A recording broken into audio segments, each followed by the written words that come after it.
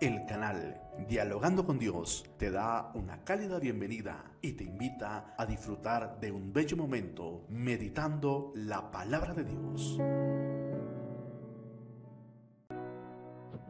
Alimentados por el pan de la palabra. El Evangelio de San Marcos hoy nos refiere. En aquel tiempo un escriba se acercó a Jesús y le preguntó, ¿qué mandamiento es el primero de todos? Respondió Jesús, el primero es, Escucha Israel, el Señor nuestro Dios es el único Señor. Amarás al Señor tu Dios con todo tu corazón, con toda tu alma, con toda tu mente, con todo tu ser. El segundo es este, amarás a tu prójimo como a ti mismo. No hay mandamiento mayor que estos. El escriba le replicó, Muy bien, maestro. Sin duda tienes razón cuando dices que el Señor es uno solo y no hay otro fuera de Él, y que amarlo con todo el corazón, con todo el entendimiento y con todo el ser, y amar al prójimo como a uno mismo vale más que todos los holocaustos y sacrificios.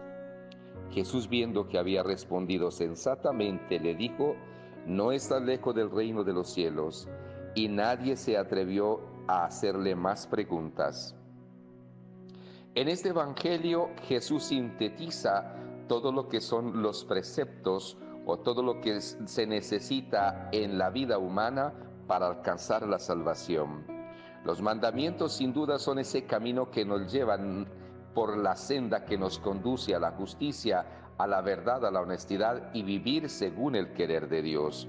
Y Jesús resume esos mandamientos, todos esos preceptos también que el pueblo de Israel ya había acumulado en gran cantidad. Tenía como unos 600 preceptos de muchas formas, de muchas maneras, con los cuales cumpliéndolos pues ellos pensaban que eran todavía pues más justos y vivían según la norma de Dios. Pero Jesús lo resume. Primero que dice es, escucha al Señor tu Dios, escucha. Escuchar sin duda es la base primordial para que nosotros podamos en verdad vivir la palabra de Dios. Escuchar era el estilo de María, la oyente verdaderamente de la palabra, que no solamente la oía como un ruido, sino que el escuchar es hacer vida en la vida esa palabra, ese mensaje, eso que se recibe. Y por eso eh, le recuerda Jesús al pueblo o a quien le está al interlocutor en qué consiste de veras esa actitud primordial, es sobre todo la actitud de escucha. Y luego amarás al Señor tu Dios con todo tu corazón, con toda tu alma, con toda tu mente, con todo tu ser.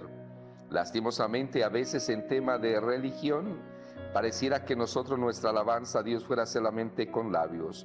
Un tema de labios, de alabanza, de aplauso y pare de contar. Y sobre todo por un ratito.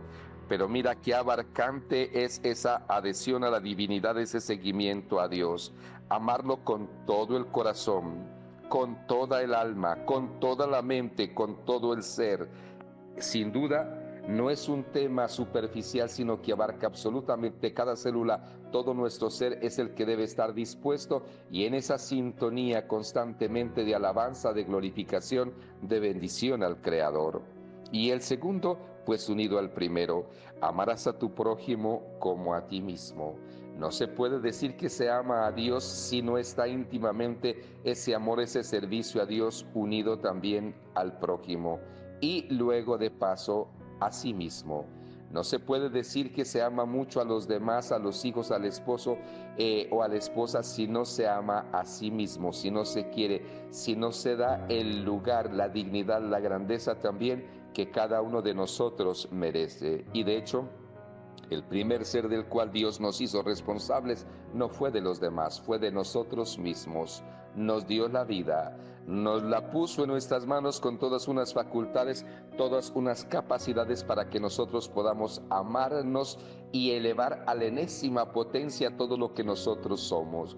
Y en cuanto podemos servir, en cuanto podemos mejorar, en cuanto nos podemos superar en esa acción, nuestra vida sea alabanza y glorificación al Padre, de alabanza y glorificación a Dios.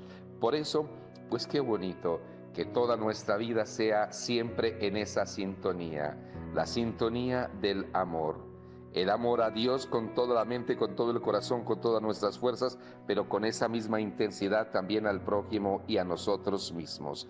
Ahí está la síntesis de toda la ley, de todo lo que nosotros tendríamos que hacer. Sin duda, si lo viviéramos, seríamos perfectos, seríamos los más santos en esta vida, porque nuestra vida constantemente sería una transparencia, una irradiación de lo que es el amor de la divinidad que ama así cuando ama, con todo el corazón, con todas las fuerzas, con todo el ser, que incluso le llevó a derramar gota a gota su sangre por amor a nosotros, por amor a nosotros resucita, por amor a nosotros nos da su divino espíritu.